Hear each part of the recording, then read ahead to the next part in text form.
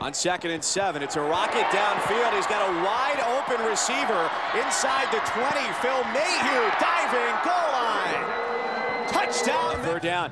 Pressure from the backside. A good toss off to Dorceus. He's got the 15, the 10 in the corner, and he's in. Touchdown, Doroland Dorceus.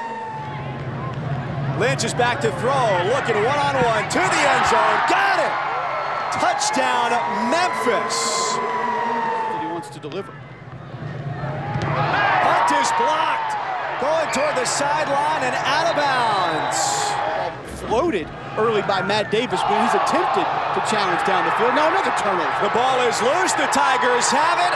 And Leonard Pegues takes it in. A touchdown for the Tigers as Jones coughed it up for the second time in the first quarter. Trying from 32. No. Ball is down. Memphis has it. And the play comes to an end. Back at the 39-yard line.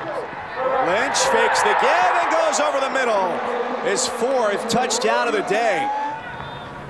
Third, third down try. That's a catch. Open room to run, and Paxton Lynch has done it again. Anthony Miller makes the catch, a flag down at the 50-yard line. Under a four-man rush, Davis, wildly inaccurate today, is picked off over the middle. Dontrell Nelson with the interception. Lynch going fade. Into the end zone. A touchdown for the Tigers. They do it again. Is ready to go. Frazier bumps off one tackle from Sanders and dives into the end zone. Touchdown, Memphis. Ball is loose. Memphis on top of it. Touchdown, Tigers.